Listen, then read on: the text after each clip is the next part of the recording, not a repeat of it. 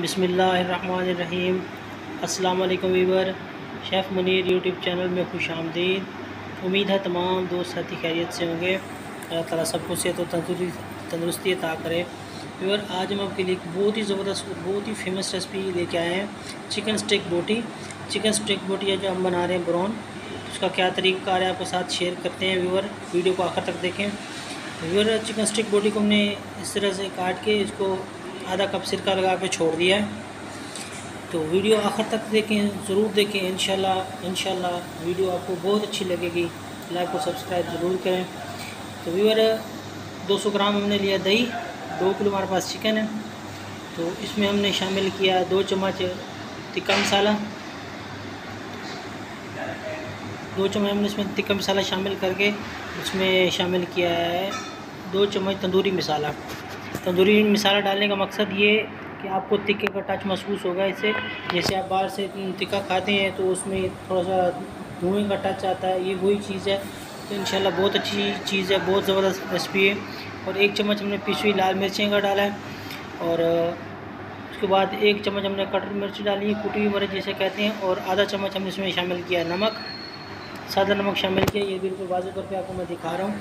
माशाल्लाह से बहुत प्यारी वीडियो व्यूअर आप देखें, बहुत अच्छी लगेगी आपको।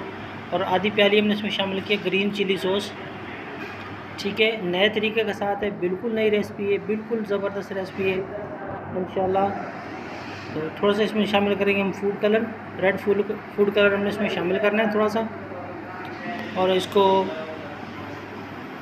मिसाले जो हमने इसमें सब ऐड कर दी हैं तो बिल्कुल अच्छे तरीके से आपने इसको मिक्स करना है।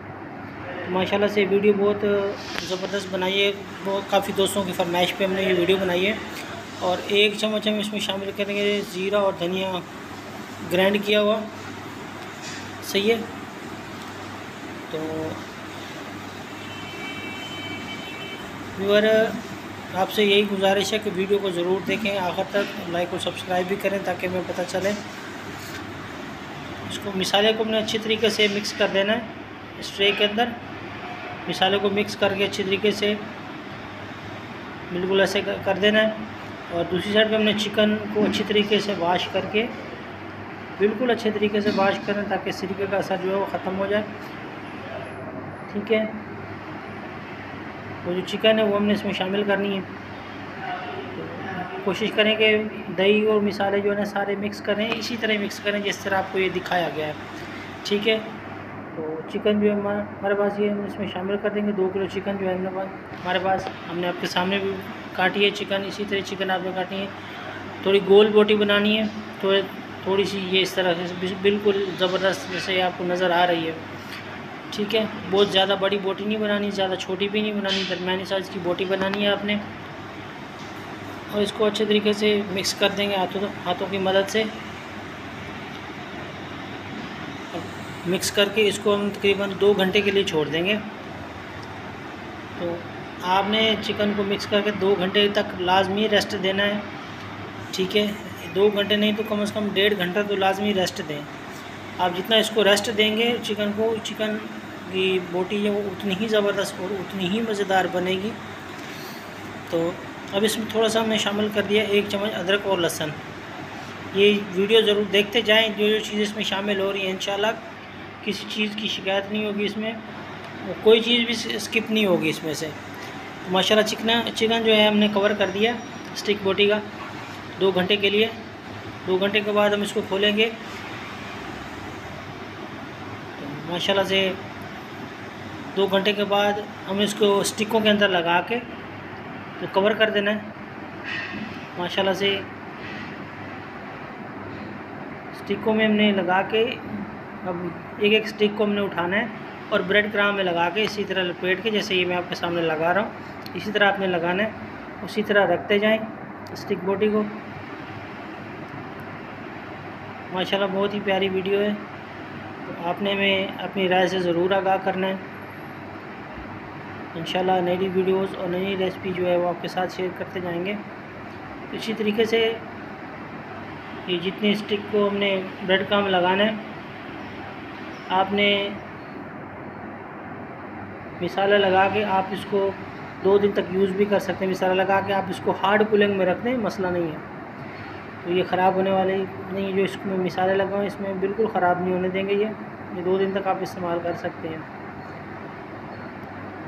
माशाल्लाह से इधर से हमने बिल्कुल चिकन स्टिक जो है काफ़ी हद तक रेडी कर दिए चिकन स्टिक जो है, ये लकड़ी की जो स्टिक है, ये बाज़ार से मिल जाती है। तो चार चार बोटी जो है, जैसे लगी हुई एक, दो, तीन, चार चार किस्म की बोटी आपने लंबे साइज़ में रख स्टिक के अंदर लगा देनी स्टिक के अंदर लगा के। तो अगर स्टिक के अंदर लग गई तो आपने माशाल्लाह आपकी रेसिपी तैयार है। इसमें कोई मसला नहीं, कोई हर्ज वाली बात नहीं है। ये तो माशाल्लाह दूसरी साइड पे हमने एक बोल लिया बोल के अंदर हमने तोड़ने अंडे। ये हमने 10 से 15 अंडे तोड़ लिए फ्राई चिकन स्टिक की बोटी। जो हमने रेडी करनी है। अंडे स्टिकें जो है इसमें डालेंगे। एकदम सारे डालेंगे। थोड़ी थोड़ी करके डालेंगे। आठ और दस दस पीस करके डालेंगे। ज़्यादा नहीं। और एक एक करके इस तरह तैयार घी में छोड़ते जाएँगे।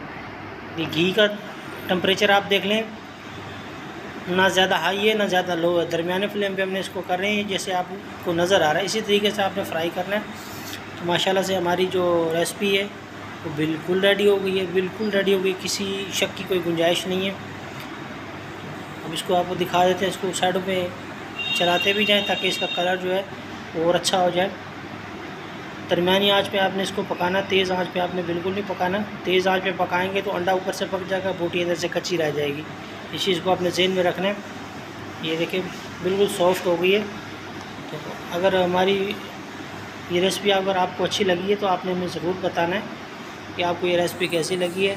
तो इन मिलते हैं एक नई नई वीडियो के साथ। तब तक के लिए हमें इजाज़त दें। अल्लाह हाफिज़। फ़ी मान